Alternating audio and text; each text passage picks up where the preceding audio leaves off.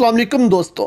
शुमाली Korea ने 2017 के बाद एक दफ़ा फिर से आईसीबीएम का तजुर्बा कर लिया है, जिससे अमेरिका की टांगे तो कांपी ही हैं, लेकिन साउथ एशिया में मौजूद अमेरिका का इतिहादी और पाकिस्तान का दुश्मन भारत भी काँप गया है। इस दुनिया में दोस्तों, जो भी हो, भारत इसको पाकिस्तान से जोड़ने की कोशिश करता है।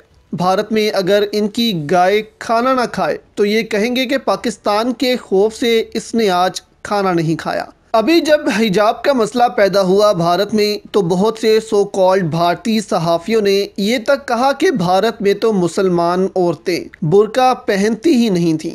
ये तो कश्मीर से पाकिस्तान ने शुरू किया, जब कश्मीर की औरतों को आईएसआई ने मजबूर किया और बुरका कल्चर कश्मीर में लाया। इसके बाद भारत में भी बुरका पहनना शुरू किया गया, क्योंकि उन्होंने भारत को धमकी दी थी कि भारत के अंदर बहुत से कश्मीर बना देंगे। भारत या इस खत्े में जो भी हो, भारत ने इसका इल्ज़ाम पाकिस्तान पर लगाना होता है। और इस बार भी भारत ने ऐसा ही किया है।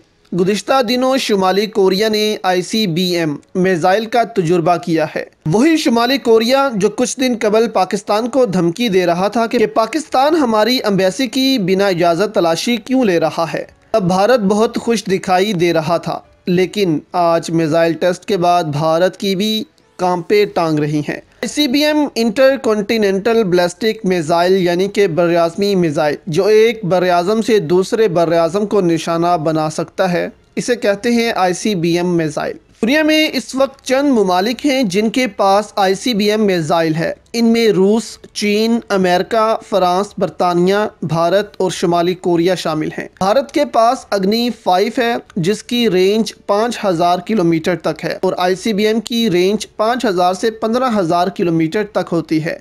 और शुमाली कोरिया ने जो आईसीबीएम लॉन्च किया है, इसकी रेंज दस हज़ार किलोमीटर तक है। पिछले दिनों जो मिज़ाइल लॉन्च किया गया है शुमाली कोरिया की जानब से, इस पर साउथ कोरिया और जापान ने दावा किया है कि ये जापान के पानियों में जाकर गिरा है।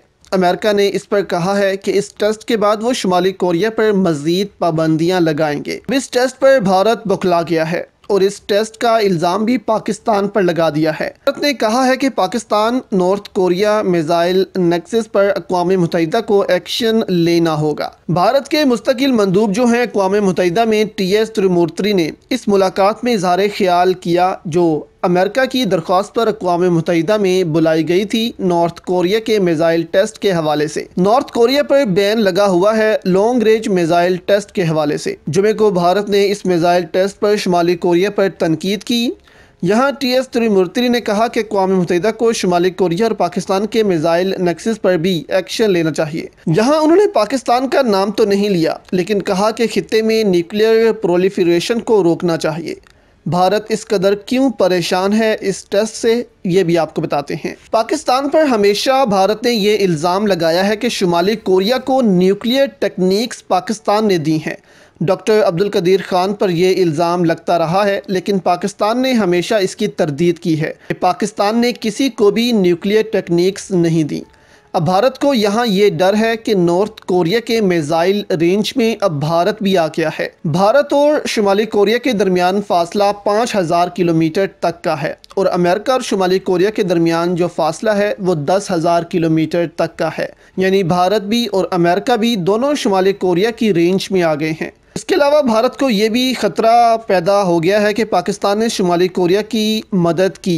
कहीं आईसीबीएम मिज़ाइल बनाने में शुमाली कोरिया मदद ना करे पाकिस्तान की और पाकिस्तान भी अपना आईसीबीएम मिज़ाइल ना बना ले। यहाँ ये सवाल है कि पाकिस्तान आईसीबीएम मिज़ाइल क्यों नहीं बना रहा अभी तक? पाकिस्तान के दो बड़े दुश्मन हैं, एक भारत और दूसरा इसराइल। ये दोनों ममालिक पाकिस्तान के मिज़ाइल की रेंज में आते हैं। पाकिस्तान को ज़रूरत नहीं कि पाकिस्तान आईसीबीएम मिज़ाइल बनाए। और अपना पैसा ज़ाया करे। पाकिस्तान बना भी रहा होगा। पाकिस्तान के साइंटिस्ट इस पर काम भी कर रहे होंगे। लेकिन इस कदर तेज़ी के साथ नहीं कि हमें फ़ौर इसकी ज़रूरत है। जब बन गया, तब ठीक है। क्योंकि पाकिस्तान ने जो अचीव करना था, वो कर लिया। और दो बड़े दुश्मन पाकिस्तान के पाकिस्तान के मिज़ाइल रेंज में आ चुके हैं। इसलिए पाकिस्तान को आईसीबीएम की फ़ौर ज़रूरत नहीं है।